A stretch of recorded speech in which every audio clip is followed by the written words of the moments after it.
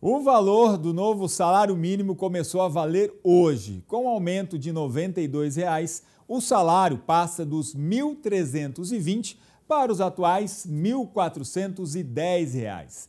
Nas ruas, a população não acredita que esse reajuste seja suficiente. Para quem não tem escolha e tem de viver com salário mínimo, o aumento previsto para 2024 de R$ 92,00 é muito bem-vindo. O Ernesto é portador de deficiência e não pode trabalhar.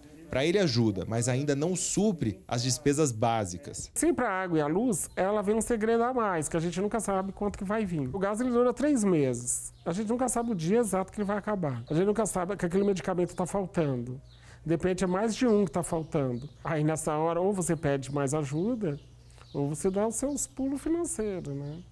Vende uma coisa aqui ou pede ajuda para outra ali. Então, com esse aumento, se as coisas estiver financeiramente estável, dá para facilitar. Agora, se tudo aumentar junto com o salário, aí vai ficar com o mesmo problema de você sempre estar tá, é, saindo, estourando financeiro, né? O aumento de quase 7% de 2023 para 2024 é maior do que os dos últimos anos, Porém, devido à má qualidade dos serviços públicos básicos e o impacto causado pelos custos com alimentação, habitação e despesas pessoais, é preciso planejamento financeiro. A gente sabe que no Brasil os serviços básicos eles acabam não entregando uma alta qualidade e isso é um dos grandes é, entraves aí para uma melhora da qualidade de vida do trabalhador. Então, seria importante que mesmo a gente tendo aumentos reais no salário mínimo, a gente visse uma melhor qualidade dos serviços públicos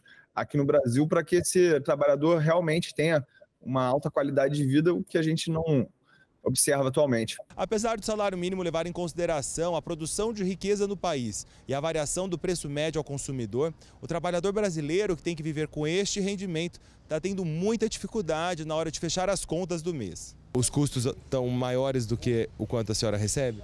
É, maior. E aí como que você faz para fechar a conta?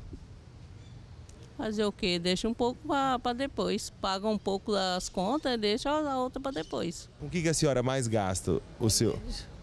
Remédio. O que a senhora faz para viver? Ah, vou vira, me viro, eu cato reciclável, faço qualquer coisa. A gente tem que fazer uma ginástica e talvez fazer um bico quando a gente acha assim alguma alguma coisinha para você ganhar um dinheiro, porque o salário é muito baixo. É, tem que tentar ir se virando da forma que dá, né?